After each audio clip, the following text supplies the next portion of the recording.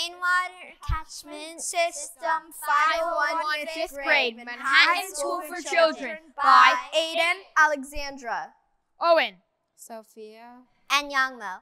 PS333. This is our rainwater catchment project that we will be showing you today. This is an example of a professional rainwater catchment system. When it rains, the water slides off the slanted roof of the building and into a pipe leading into a rainwater filter where the water is cleansed from any bacteria it may have. It then flows into the rainwater storage tank where the water is then distributed throughout the building as requested. Our engineering process. For this project, we made three houses, but our first house did not have a lot of structure. For our second house, we thought it was reasonable, but we set the goals too high and our sprinkler blew everything up. At our third attempt, we didn't have a lot of cardboard to use to make as a house, so we just used scrap piece of half a cardboard box and worked our best effort on it. On, uh, we had some leaking problems, so we used the tape to cover up the leaks. If we were to do this again, we would try to make it cleaner and neater.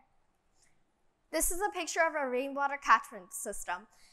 First, the water falls into the cup, then it goes through a pipe which leads to the filter. The filter is made out of tissue paper in order to clean the water. The finished results falls into another cup and reveals perfectly clean water.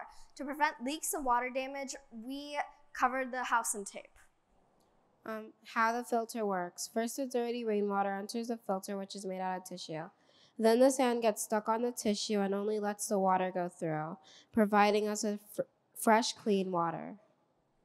Why rainwater catchment is important.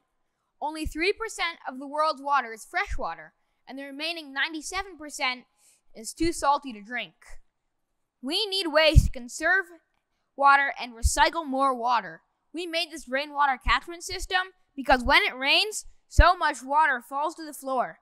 But if you catch the water and filter it, it can be drinking water. Thank, Thank you for listening attentively.